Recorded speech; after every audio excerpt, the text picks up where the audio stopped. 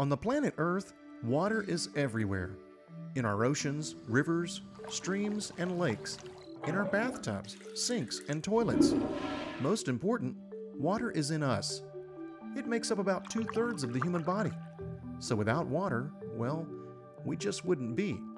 There are two kinds of water on the Earth's surface salt water and fresh water, each sustaining life both in the oceans and on land.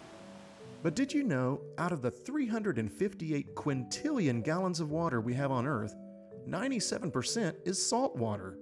Only a fraction, 3%, is fresh water. Fresh water is what humans and animals need to survive.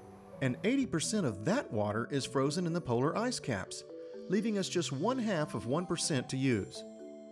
Even some of that water is too polluted to drink. What's amazing is that we must share that tiny amount of fresh water with over 7 billion humans and hundreds of billions of animals on Earth. You can see how fresh water is such a valuable commodity. In some places around the world, fresh water is valued more than gold, silver, even pizza. But we have one thing going for us most water is reusable. In fact, all the water on the planet has been recycled countless times.